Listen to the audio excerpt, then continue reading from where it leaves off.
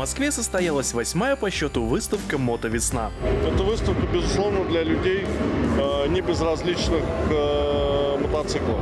Но немало здесь людей, для которых мотоцикл никогда не представлял из себя что-то основополагающее для жизни. Они здесь открывают абсолютно новые грани для себя. Экспозицию разделили на несколько зон – спортивную, бизнес и кастомную, где организаторам удалось собрать рекордное число экспонатов. У нас рекорд э, по объему экспозиции.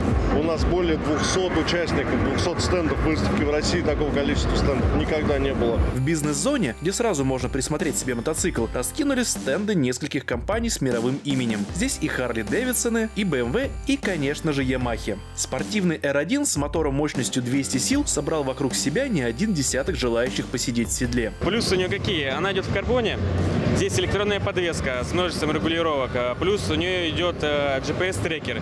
То есть, когда катаешься по треку, э, ты можешь отследить свой путь, как ты ездил. Кастомная зона изобиловала всевозможными изысками мототехники. Мы находимся на выставке «Мотовесна», где в этом году собрано рекордное число экспонатов.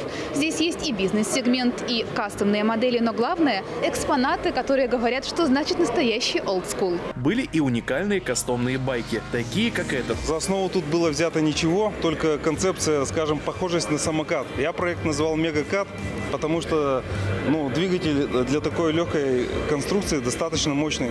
Э, 180 кубов, четырехтактный двигатель с вариаторной трансмиссией от китайского скутера. К слову, эта конструкция способна набирать под 100 км в час. Следующую выставку «Мотозима» организаторы проведут на Красной Пресне в декабре.